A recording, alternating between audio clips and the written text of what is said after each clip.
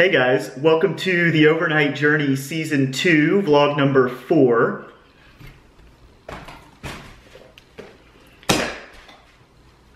Let me start by thanking those of you that donated today.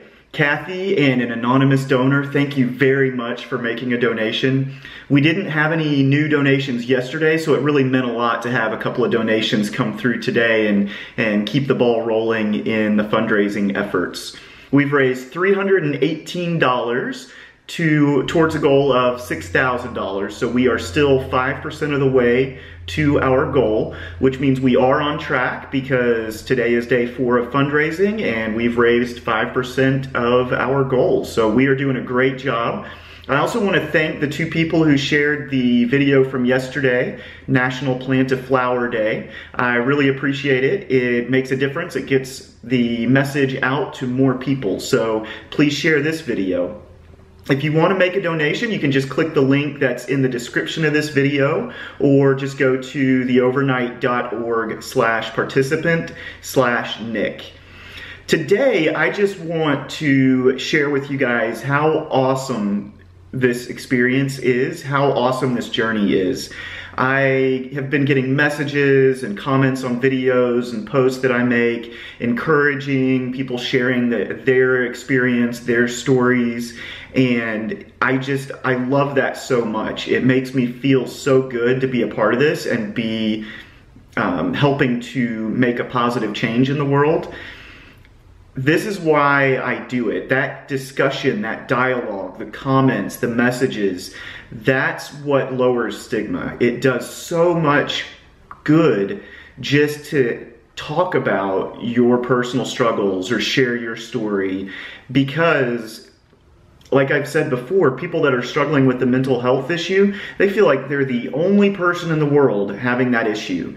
Nobody else would understand it. In reality, they probably know several people dealing with the same thing or that have dealt with the same thing in the past. So the more we talk about it, the more people will feel comfortable opening up about it. So keep that dialogue going. I love it. it, it it's absolutely amazing. I'm wearing my Chattahooligan scarf today because I am walking with a team this year, Team Chattahooligan. And what made me think about making sure I let you guys know about this is Bill did a uh, live video today. I shared it on my wall if you want to go watch that. Um, but I just thought you know, eh, he's doing an amazing job. And there's other people on the team as well, Judy and Robert, doing an amazing job. I love the fact that we're all going to be walking together in Washington, D.C. Last year, when I was doing the fundraising for the overnight walk, I found out a lot of my friends in the Chattahooligans had been impacted by suicide and or you know some kind of mental health issue, or were or were just passionate about the cause and wanted to help for just whatever reason. And so several of us have band together and formed a team and we're going together and walking together. And I'm really looking forward to that.